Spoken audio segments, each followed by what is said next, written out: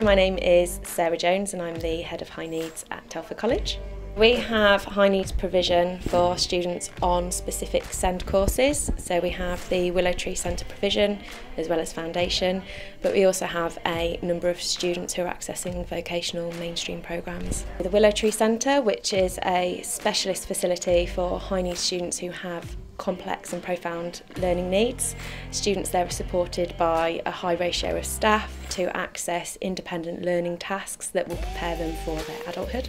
So in the Willow Tree Centre we do have a VR cave for students to practice learning how to cross the road before we actually take them into the community to practice those lifelong skills of keeping safe. We also have a sensory room for some of our more complex and profound learners.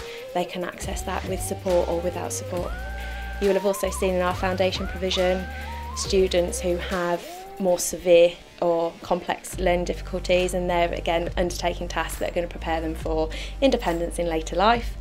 We also have a number of students who are accessing work experience, so they are working in the college pop-up shop but also going off-site to supported internship placements. It's important that we prepare our students not just for any work opportunities that, and employment that they may go into when they leave college, but also for living independently. Um, we recognise that our students won't be living um, with the support of parents or carers forever, so we want to prepare them as best as possible.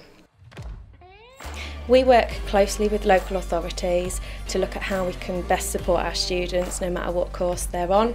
So if students would like to come and access some of our mainstream provision, we recognise that you know, they might need a little bit of support to do so, maybe through assistive technology or a personal assistant in the class so we look to um, get the right funding for them to make that happen. Staff are really passionate about ensuring students achieve so for us um, we love to see the students progress and grow in confidence.